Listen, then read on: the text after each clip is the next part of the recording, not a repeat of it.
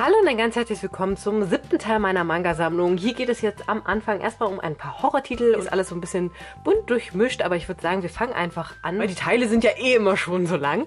Ähm, hier geht es einmal los mit ähm, Judge von Yoshiki Tonogai und ich finde den Mangaka richtig, richtig gut. Von ihm habe ich auch alle Reihen, die bis jetzt hier erschienen sind. Und in Judge geht es um unseren Protagonisten, der eines Tages entführt wird und in einem Gebäude aufwacht, wo alle seine Mitstreiter verschiedene Tiermasken tragen und in der Ecke ähm, liegt ein toter Mann und sie müssen nun entscheiden, wer der Mörder ist. Es ist ähnlich wie Danganronpa, auch mit einem Jury-System, wo man sich untereinander abspricht, wer denn jetzt der Mörder ist. Und ja, ist eine wahnsinnig gute Horrorreihe. Das Ende war auch sehr, sehr interessant und äh, ja, ich glaube, die Reihe fand ich auch am besten von ihm. Dann geht es weiter mit Dope. Ja, die fand ich auch mega, mega gut, die Reihe. Hier geht es um das Prinzip vom ja, ähnlich wie Werwolf-Game. Es gibt mehrere Hasen und unter ihnen ist ein Wolf.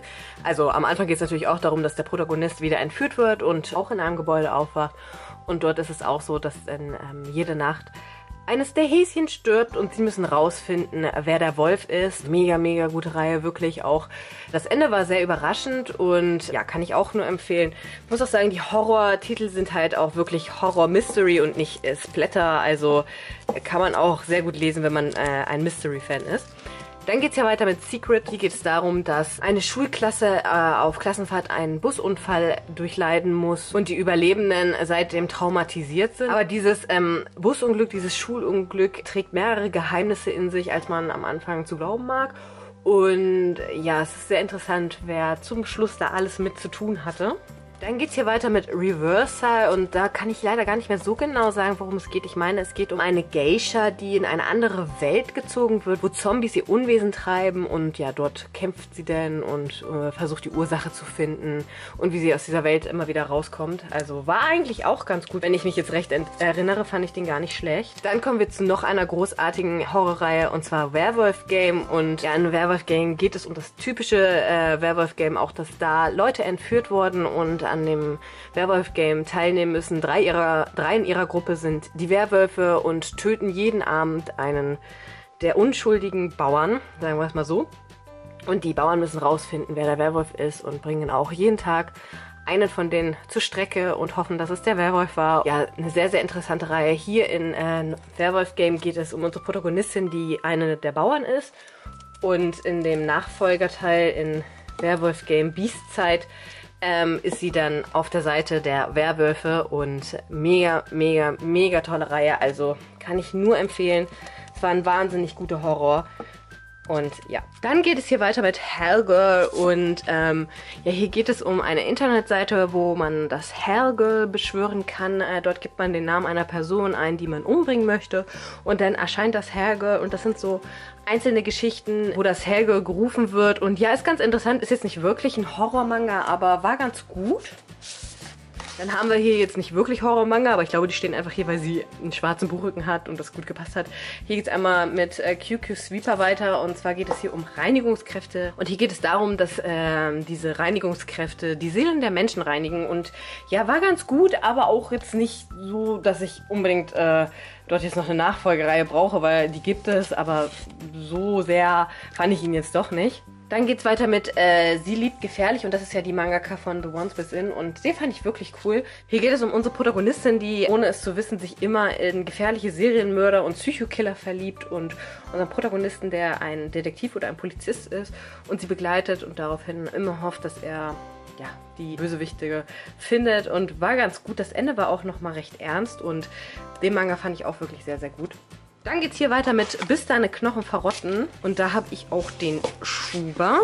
Da hole ich aber mal den ersten Band einmal raus. So, in Bis deine Knochen verrotten geht es um eine Freundesgruppe, die ein dunkles Geheimnis haben. Denn vor fünf Jahren töten sie zusammen einen Mann aus Versehen. Und ja, seitdem behalten sie das Geheimnis für sich. Doch eines Tages, als sie sich wieder, sie treffen sich einmal im Jahr an äh, dem Ort, wo sie den Mann vergraben haben, sich dort wieder treffen, bemerken sie, dass die Leiche weg ist und werden daraufhin von einer anonymen Person erpresst und müssen Aufgaben erledigen und versuchen rauszufinden, wer diese Person ist, der sie erpresst und ja, mega, mega spannende Reihe. Also den Mangaka finde ich wahnsinnig toll. Ähm, kann ich nur empfehlen. Vor allen Dingen, weil der Schuh auch schön ist. Dann geht es hier weiter mit Grab der Schmetterlinge und ja, hier geht es um eine Geschichte, dass äh, jemand in einer Klasse verschwindet und nie wieder auftaucht. Und sechs Jahre später kehrt seine Schwester zurück und trifft äh, die alten Freunde von demjenigen, der verschwunden ist und versucht das Rätsel zu lösen. Und ja, daraufhin sterben einige Personen und man versucht das Rätsel zu lösen. War ganz interessant für einen Two-Shot. Dann geht es weiter mit Scary Lessons und den fand ich einfach richtig, richtig, richtig gut. Hier geht es um mehrere Kurzgeschichten und um unseren roten Storyfaden. Dort geht es um unsere Protagonistin Yumi, die keinen Unterleib mehr hat und die erzählt die ganzen Horrorgeschichten, was immer einzelne kleine Geschichten sind. Das erinnert so ein bisschen an X-Faktor, finde ich. Und es ist wahnsinnig gut und die Geschichten sind auch zum Teil wirklich sehr, sehr unheimlich. Und es hat auch viel mit Moral zu tun und Sachen, die man irgendwie selber kennt. Und es ist wirklich wahnsinnig, wahnsinnig gut. Und auch die Protagonistin Yumi ist sehr interessant. Man möchte wissen, was ihr geschieht geschehen ist, dass sie halt keinen Unterleib mehr hat. Eine wahnsinnig tolle Reihe. Scary Lessons finde ich super, super toll. Dann geht es hier weiter mit Ame und Yuki, die Wolfskinder. Und äh, da habe ich auch den wunderschönen Schuba. Hier geht es um unsere Protagonistin, die sich in einen Mann verliebt, der ähm, ja vom Wolfsgeschlecht so gesehen ist und ähm, ja daraufhin Kinder gebärt. Ich weiß gar nicht, ob der Mann jetzt genau gestorben ist, aber auf jeden Fall zieht sie die Kinder alleine groß und ja, wie so ihre Hürden da sind und wie die Kinder aufwachsen. Und es ist eine wahnsinnig schöne Geschichte, super traurig. Ja, den Anime habe ich nie gesehen, aber soweit ich weiß, ist der Manga genau wie der Anime und eine wahnsinnig schöne Geschichte, kann ich jedem nur empfehlen. Dann geht es hier weiter mit Welcome to the NHK und ähm, ja, den fand ich leider nicht so gut. Hier geht es um unseren Protagonisten, der eine Sozialphobie hat und nicht mal aus seinem Zimmer kommen möchte und unsere Protagonistin, die mit ihrer Mutter, meine ich, sowas ähnliches wie die Zeugen Jehovas. Also die machen auch Gotteskundgebungen und so daraufhin lernen die sich kennen und sie versucht ihn so gesehen zu retten. Und ja, ich muss sagen, es war mir ein bisschen zu stumpf und zu sehr ins Lächerliche gezogen. Ich mag ja Comedy-Manga, aber in diesem Fall mochte ich einfach den Itchy-Anteil nicht so gerne. Ja, das Ende war ganz interessant, aber so im Großen und Ganzen muss ich sagen, nicht so mein Fall gewesen. Dann geht es weiter mit Secret Service und ja, den fand ich wirklich wahnsinnig gut. Hier geht es um unsere Protagonistin, die meiner Meinung nach ein Yokai ist, äh, von einem höheren Geschlecht. Äh, diese zieht äh, in ein Haus, das vom Secret Service bewacht wird und dort bekommt sie halt eine Person äh, zugeordnet. Das ist dann er hier und ja, was da dann alles so noch drumherum passiert, ist richtig äh, spannend. Die beiden haben dann natürlich eine Liebesgeschichte, was richtig niedlich ist. Ist eine sehr, sehr interessante Reihe und ich finde die Mangaka sehr, sehr toll. Schade, dass diese Mangaka schon verstorben ist, weil das ist wirklich ein sehr, sehr schönes Werk von ihr und ja, kann ich auf jeden Fall jedem nur empfehlen. Dann geht es hier weiter mit äh, Mysterious Honey und dazu habe ich in meinem letzten Manga-Update schon was erzählt. Mir hat die Reihe insgesamt leider nicht so gefallen, also der Two-Shot hat mir nicht so gefallen, da die Charaktere sehr oberflächlich sind und ich halt die ganzen Protagonisten nicht sehr gerne mochte. Die Mangaka hat schon mal in einem der Bände, ich meine in Die Braut des Wasserdrachens, gesagt, dass sie ihre vorigen Werke auch gar nicht so gut fand, weil sie dort noch nicht äh, so sehr auf die Story geachtet hat und ähm, ja, das merkt man hier tatsächlich. Hier geht es um eine Protagonistin, die gerne in der Bücherei ist und äh, Krimis liest und eines Tages wird sie sie, als sie dort eingeschlafen ist, von einem Jungen geküsst und vier Protagonisten waren gerade zufällig in der Bibliothek und einer von denen muss es gewesen sein und sie versucht herauszufinden, wer es war. Ja, das ist die Story. Ich äh, kann euch den nicht empfehlen, war leider nicht so meins. Aber dafür kann ich euch sehr, sehr, sehr empfehlen. Dawn of Arcana von ihr. Ich finde den Manga wahnsinnig toll. Ist äh, bis jetzt noch eine meiner Lieblingsreihen. Mal sehen, ob äh, die Braut des Wasserdrachen ihn toppen kann. Hier geht es um unsere Protagonistin Nakaba, die eine Prinzessin in einem Königreich ist, aber an ein verfeindetes, also bis dato verfeindetes Königreich gekauft wird, beziehungsweise als Braut hingeschickt wird, damit die sich ähm, ja, so gesehen verbünden. Dort lernt sie dann den Protagonisten kennen. Das ist dann dieser hier, der ist halt der Prinz äh, des anderen Landes und ihr Mann und der behandelt sie halt extrem schlecht am Anfang, weil er halt verfeindet und er ist halt am Anfang ein ziemliches Ekel. Begleitet wird sie von ihrem äh, Diener, das ist dieser hier, der spielt dann auch noch eine wichtige Rolle. Nakaba ist eine wahnsinnig äh, starke Protagonistin und ich finde sie total toll. Sie entwickelt sich auch wahnsinnig gut in äh, der Reihe und hat auch eine geheimnisvolle Kraft, die sie lernt einzusetzen und ja, eine insgesamt total tolle Reihe, kann ich jedem nur empfehlen. Ich finde Ray Thoma klasse. Ähm, ja gut, mit Mysteries Honey habe ich vielleicht einen Fehlgriff gemacht, aber trotzdem ihre Nachfolgewerke finde ich sehr, sehr gut. Dann geht es hier weiter mit Die Freundin der Hexe und den fand ich insgesamt eigentlich auch recht niedlich. Hier geht es um ein Mädchen, was sich äh, nach außen hin auch immer verstellt und sie trifft dann auf sie hier und findet raus, dass sie eine Hexe ist und die beiden befreunden sich dann und ja, haben dann beide so ihre Probleme und die sie versuchen zu lösen und ist eine wirklich ganz niedliche Geschichte, kann ich nicht meckern. Dann geht es hier weiter mit My Eureka Moment und den fand ich auch wirklich sehr gut. Hier geht es um einen Protagonisten, der ziemlich intelligent ist und eine Protagonistin, die ihn eines Tages aufliest und ähm, bei sich wohnen lässt, weil er, meine ich, Kontakt zu ihrer Mutter hat und sie hat dann gebeten, dass er bei ihr wohnen kann oder so. Ich glaube, ungefähr so war das. Auf jeden Fall war die Reihe ganz interessant, vor allen Dingen, weil der Protagonist auch mal was anderes war. Der ist wie so ein Sheldon Cooper irgendwie und ja, fand ich ganz niedlich, die Reihe.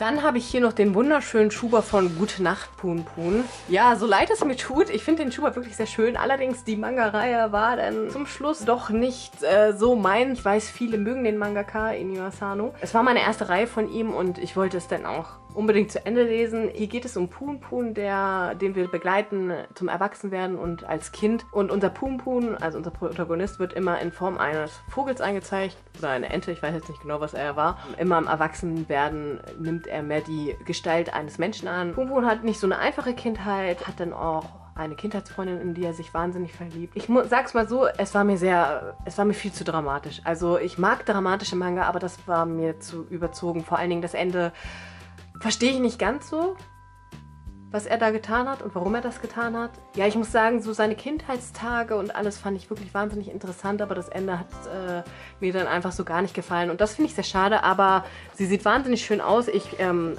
kann sagen, ich habe eine Reihe von Inyo Asano gelesen und ich weiß, er ist nichts für mich. Und von daher bin ich damit auch ganz fein. Und genau, so, dann haben wir hier ein paar Reihen von Yoko Maki stehen. Und zwar geht es hier los mit Between the Worlds. Und den fand ich richtig, richtig gut.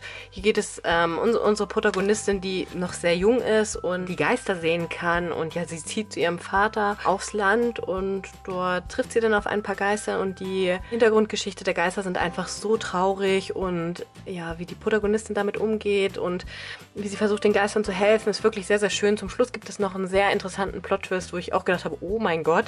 Also wirklich sehr, sehr tolle Reihe, kann ich jedem nur empfehlen. Dann geht es hier weiter mit dem Einzelband 14R und ich glaube, den fand ich gar nicht so schlecht. Ich kann aber nicht mehr genau sagen, worum es ging. Ähm, ja, ich dachte mir, ein Einzelband von Yokomaki, warum nicht? Ich finde die Mangaka sehr, sehr toll.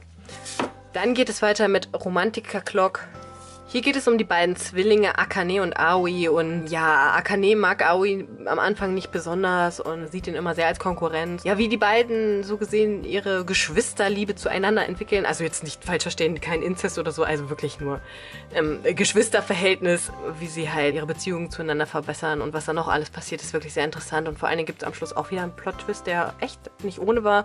Die Reihe von ihr fand ich wahnsinnig schön und kann ich jedem nur empfehlen. Dann haben wir hier noch Lion Ball und ja, das ist ja ihre neueste Reihe und muss ich sagen, Lion Boy fand ich im Gegensatz jetzt zu Romantica Clock sehr schwach. Hier geht es um unsere Protagonistin, die ähm, sehr schön ist und in ihrer eigenen Welt lebt. Äh, sie liest ziemlich viele Manga und hat nicht wirklich Interesse an soziale Kontakte und eines Tages ähm, fällt sie eine Treppe, glaube ich, runter und wird von unserem Protagonisten aufgefangen und der verliebt sich in sie und versucht dann ihr Freund zu werden. Und die kommen auch relativ schnell zusammen und geht es halt um die Entwicklung von ihrer Beziehung. Und ja, ist ganz niedlich, aber ich muss sagen, Romantica Clock fand ich um Weiten besser als ähm, Line Boy.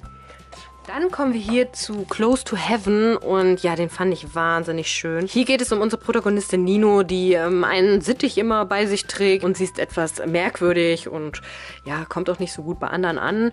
Und sie trifft auf den Playboy, das ist dieser hier aus ihrer Klasse. Die beiden sind Nachbarn und ja, eines Tages erfährt sie von seinem traurigen Geheimnis und möchte ja, so gesehen ähm, ihn begleiten und ihm eine glückliche Zeit bescheren. Nennen wir es mal so, ist auf jeden Fall eine sehr traurige Geschichte. War wirklich ein so toller Manga. Close to Heaven kann ich auch jedem empfehlen, aber ich meine auch, dass der wieder vergriffen ist.